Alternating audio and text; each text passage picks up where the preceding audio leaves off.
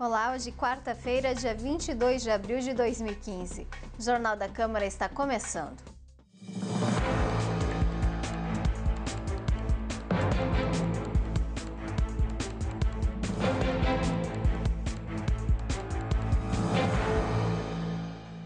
A Prefeitura de Blumenau, através da Secretaria de Desenvolvimento Social, a CEMUDES, e da Secretaria de Defesa do Cidadão, estão unindo esforços junto ao Corpo de Bombeiros para ajudar os desabrigados do tornado de Xanxerê.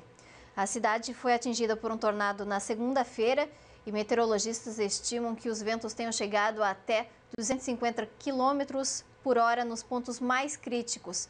Ao menos duas pessoas morreram, 60 ficaram feridas e cerca de mil pessoas estão desabrigadas, de acordo com a Defesa Civil. Quem quiser ajudar, os donativos devem ser entregues no quartel do Corpo de Bombeiros de Blumenau. Fica localizado na rua 7 de setembro, próximo ao terminal Proeb. Vale lembrar que serão aceitos apenas água e lonas. A previsão de saída do primeiro caminhão rumo ao oeste do estado é esta noite. Marcos da Rosa, vereador do Democratas, encaminhou uma indicação solicitando que seja realizada a limpeza nas bocas de lobo da rua Cristiano Karsten, no bairro Texto Salto. Além disso, o parlamentar indicou o conserto da pavimentação asfáltica na rua Gris Miller, no bairro da Glória. O vereador Oldemar Becker, do PPS, indicou a reforma e melhorias no ginásio de esportes do Centro de Educação Profissional Hermann Ehring, mais conhecido como SEDUP. O parlamentar justifica que quer garantir a formação não apenas estudantil. Ele ainda explica que os alunos fizeram um abaixo-assinado com milhares de assinaturas para que pudessem ajudar a visualizar a importância da reforma do ginásio, a fim de garantir a integridade física dos usuários e também para dar oportunidade na melhora da qualidade da formação dos jovens cidadãos. E o César Sim, vereador do PP, enviou uma indicação para consertar buracos e defeitos na pavimentação da rua Santa Quitéria, no bairro Itopava Norte. Além disso, ele também indicou que sejam recolocadas algumas lajotas que se encontram retiradas do calçamento na rua João Paulo I, também no bairro Itopava Norte. Já o vereador Beto Tribés, do PMDB, fez uma indicação pedindo para verificar a possibilidade de melhorar o escoamento de água na rua Araras, no bairro da Velha. Segundo o parlamentar, os moradores estão preocupados, pois a tubulação não consegue dar vazão às águas que acabam invadindo as residências. O vereador Fábio Fiedler enviou um requerimento pedindo providências à Polícia Militar no sentido de fazer mais rondas nas ruas Militão Schneider, Arthur Miller, Bento Coelho Gomes, Uruguaiana e Rubens Belisário Vedes. O parlamentar Vanderlei de Oliveira encaminhou um requerimento pedindo providências ao Executivo Municipal e questionando como estão os estudos para a eventual reabertura da antiga ligação Velha Garcia, que passa pelo final do Zendron.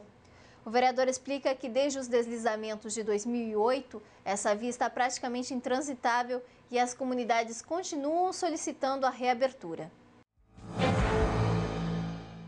Na sessão de terça-feira, dia 14, a Câmara de Vereadores aprovou em redação final o projeto de lei complementar número 1406, de autoria do vereador Jens Mantel. Ele autoriza a celebração de termo de compromisso e ajustamento de conduta para regularização de imóveis construídos em desacordo com o Código de Zoneamento, Uso e Ocupação do Solo do município. As compensações vão ser realizadas em forma de recursos monetários.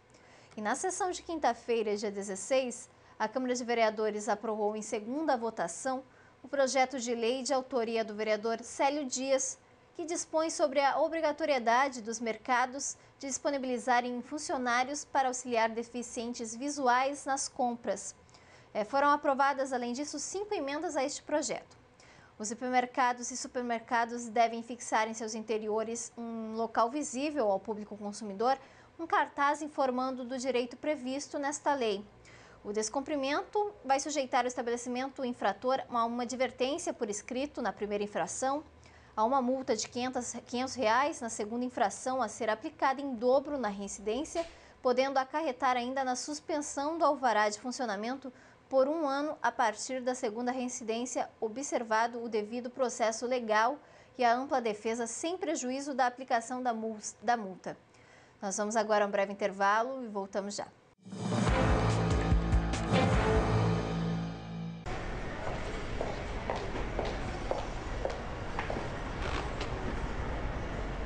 Se você acha isso um absurdo, por que fazer ultrapassagens perigosas? Seja educado no trânsito como você é na sua vida.